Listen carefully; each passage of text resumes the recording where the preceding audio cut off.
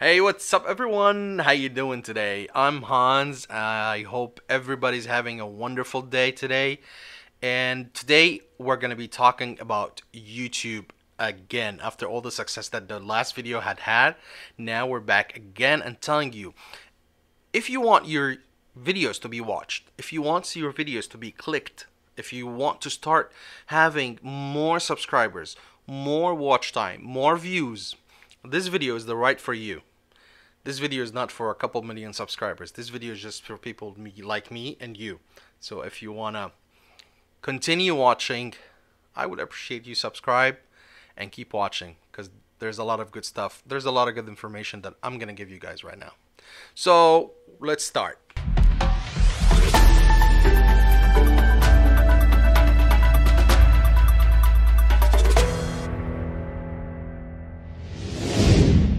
So, as you can see, if you notice right there, I'm gonna show you right now where it should be right there. Yeah, here's a card for the last video that has a lot of success. A lot of people watched it. A lot of people sent me some messages on Instagram telling me that they got motivated and they are going to start their own channel. Find your channel, find the, the, the passion for something that you love and start doing it. And um, we talked about this in the last video how are you gonna start it how are you gonna start your channel so make sure you subscribe make sure you watch this channel go check us out on Instagram Supercars Kid and Hanz Media. Alright so today we are talking about you shot your video and after you shot your video you decide to do alright what I'm gonna do right now I'm gonna upload it to YouTube. In order for the video to gain momentum on YouTube like, let's be honest. When you start, you have zero followers, you have zero views, you have just started. So in order to make that happen, you have to start making that video that you just uploaded clickable, meaning that people need to press that button to watch your video. So it has to be attractive. It has to be appealing. It has to have something that they're gonna like benefit from, um, something that will provoke them to, to, to, to actually open that video and watch it. So I'll give you today some tips, six or seven tips that will start helping you get your video watched and clicked by people. Tip number one, title.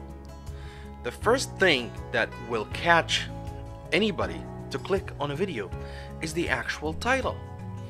So make your title straightforward, simple, and not too long. Title is about 100 letters, 100 characters. Never use the 100. Never explain anything on the title because the longer the title is going to get cut up and your message will be lost.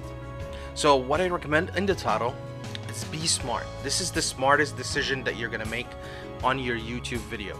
Make the title appealing. Make it short, make it straightforward and make it clickable. Make it maybe a question that you're going to answer. Maybe a problem that you're going to solve. Maybe something that you guys think that it will help them. You know what i'm saying?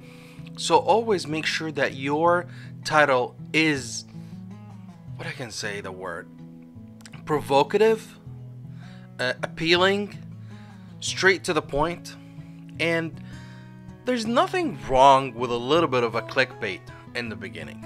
I'm not saying clickbait is the key, but a little bit of a clickbait. A semi clickbait, you would say. So let's give some examples. If we're talking about you're you're doing a video about cars and you are shooting I would say like a Lamborghini Huracan for example Try to find something special about this Lamborghini Huracan. Make it clickable. Is it is it super loud? Does it have a very loud exhaust? You can do it like that. Check out the loudest Lamborghini that I've ever seen. It's not clickbait. It might not be the really the loudest uh, uh, Lamborghini out there, but it's the loudest for you. It's the loudest you, you ever heard. It probably could be the loudest for another one if, if you're doing a makeup channel for girls, this is the softest uh, foundation that I've ever seen. This is the brightest color This is the newest trend. Try to be semi clickbaitable. That's what I'm saying about titles. So, in order to make that happen, you have to actually have a semi clickbait or make your title so appealing or you have a problem that you're gonna solve. Next step is the thumbnail. After you've done the title, you have to reach now for the actual. If the title is taking that much, the thumbnail will take a little bit bigger. So you need to spend some time doing the thumbnail really nice and you have to nail it every time. There's a lot of strategies, there's a lot of ways that you can do the thumbnail, but uh, let me tell you from my experience, the nicer the thumbnail, the more clickable the, the video, the more it would, have click-through rate means uh, what's the click-through rate is means that YouTube will show your videos on the screen for somebody to click it but it's going to be alongside a lot a lot a lot of other videos. So what will happen the click-through rate is how many times YouTube showed your thumbnail or your video to someone and that someone clicked it. So it's probably going to show it to 100 people and 5 has clicked it reasons that people will click that because even they don't know you is number one, the title. Number two is as important as the thumbnail. So make sure that your thumbnail is catchy.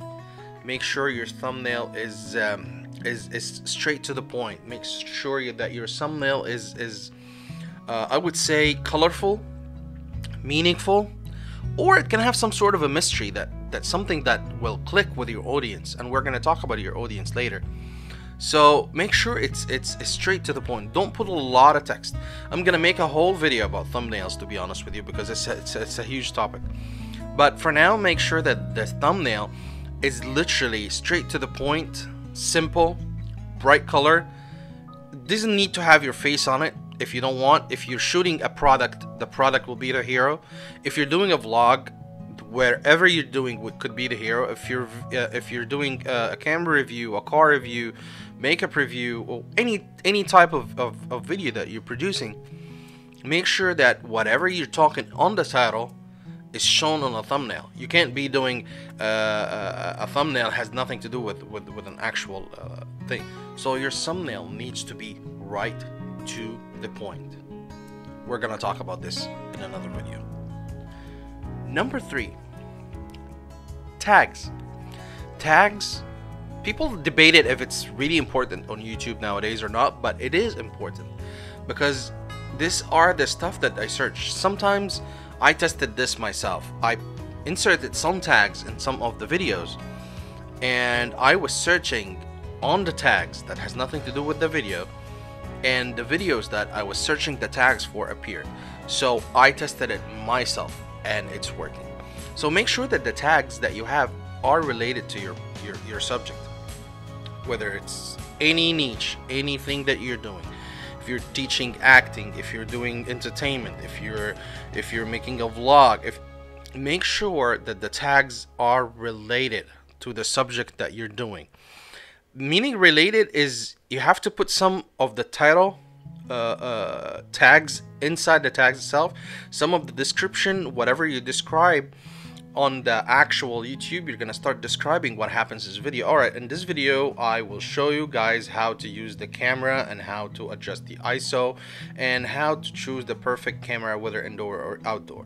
So when you go back to tags, you have to write down exactly what you're doing put cameras, put indoors, put ISO, put the focal length, put the brand of the camera that you're viewing, brand of the lens that you're viewing, put the brand of makeup, the brand of car. You have to insert as much tags. You have 500 letters, I would believe, if I'm not mistaken, 500.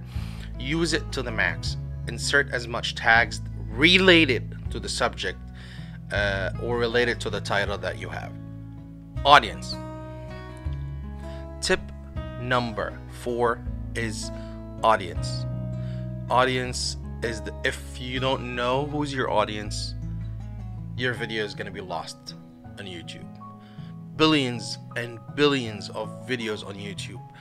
Daily, there's a million video like you being uploaded on YouTube. It's an ocean of videos. So you need to know what type of audience do you want this video to reach? What type of people that will watch your video. If your videos are about vlogging in general, try to narrow it down. Don't don't don't don't do the, the vlogs just just a general vlog because I'm being honest with you. Nobody want to watch you uh, drinking coffee, uh, going to school, uh, hopping in an Uber. You didn't give any benefit.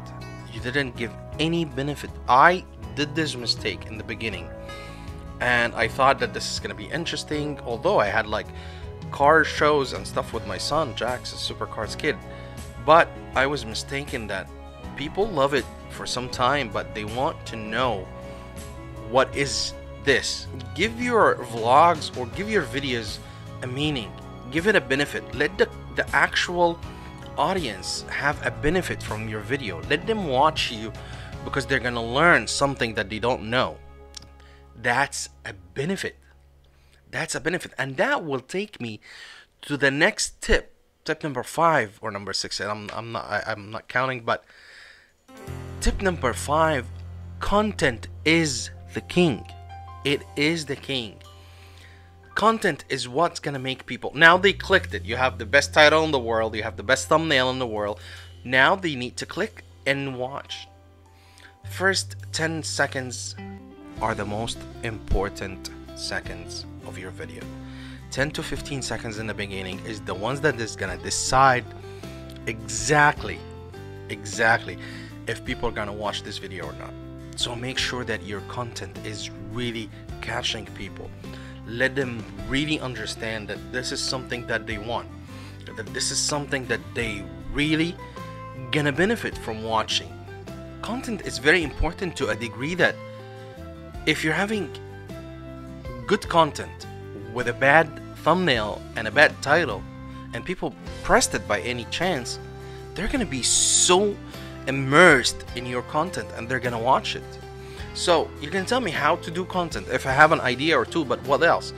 You can go to see always what's going on behind around you. Like there's a lot of viral stuff going to the go to the trending page and see what's trending on YouTube. Uh, if, if, if you're like gaming, see which game is, is out right now and, and, and, and do gaming videos on it. If you're if you're if you're a camera guy or a video or a photographer or, or, or that type of person see what cameras are people buying right now. What camera just launched for example like uh, Sony or, or, or, or a Canon or the new 90D or something like that and go and start talking about this camera. That will not gonna be like you're writing the trend or doing something bad but no you're giving your own opinion about it you're doing your own thing on it so writing the trend or using the actual trend is, is not, nothing wrong with that.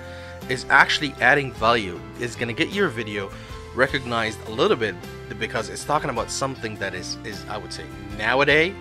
So it's it's not outdated. It's not you're not talking about something like 10 years ago. One of the other things I would say it's it's a tip number seven or something. YouTube itself has a lot of nice channels that made by YouTube like the YouTube creator channel. It, this channel, I benefited a long, a long time from it. It actually benefited me a lot. It showed me uh, a lot of things about YouTube Studio or YouTube Beta and how to use cards and how to use end screens. And we're going to be talking about this later right now. These things are really helpful. These things are really tools that can help you. So make sure you check out the YouTube creator channel on YouTube itself I was just speaking right now about calling cards and end screens. These are the things that you can use on your videos to let people know. For example, I'm gonna leave you here right now a calling card. Yep, that's the one. This is for the video that I was just talking about. Check it out, press it, and now it will take you to one of my videos that I previously done. So this is one of the tools that actually YouTube gives you in the YouTube studio. One more thing, er, when you remember that you're watching this video, watch till the end, you will see that there's two videos will be on these two sides and there's one subscribe in the middle. This is called the end screen. The end screen is something that will let people know that you have more videos that they can watch without even searching. that will show usually two videos and one subscribe button. If you didn't subscribe, subscribe now. Don't wait till the end. Okay. So this is this is pretty much will sum up our episode for today. Uh, it's a little bit outline of how now you have a video idea now you shot it already now how to do it how to upload it stay tuned because uh, on the next episode we're going to be talking a little bit more in details about youtube studio uh, how to shoot the actual stuff how to choose your niche how to choose your actual content and um, yeah thank you so much guys for watching and i hope to see you on the next video and make sure you go to our instagram right there i'll leave the links and uh, See you guys in the next video. I'm Hanz. See you later.